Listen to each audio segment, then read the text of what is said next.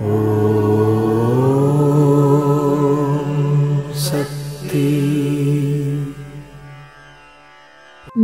అమావాస్య పౌర్ణమి రోజులలో పాదపూజ చేయండి. అప్పుడు అమ్మ మౌనంగానే ఉంటుందిగా అని ఉదాసీనంగా ఆలోచించవద్దు. బాలగన్ మౌనం దర్శనం చాలా ప్రయోజనకరంగా ఉంటాయి.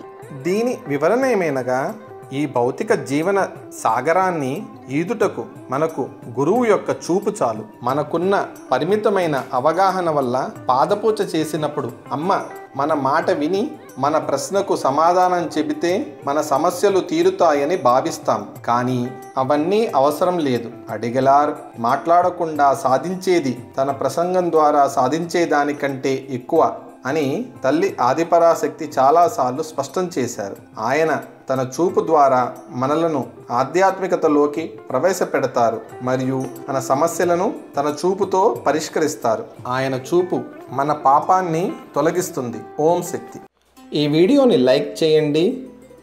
మిగతా వారికి కూడా ఈ లింక్ని షేర్ చేయండి. బంగారమ్మ తెలుగు ఛానల్కి సబ్స్క్రైబ్ చేయండి. బెల్ ఐకాన్ని క్లిక్ చేయండి. ఓం శక్తి.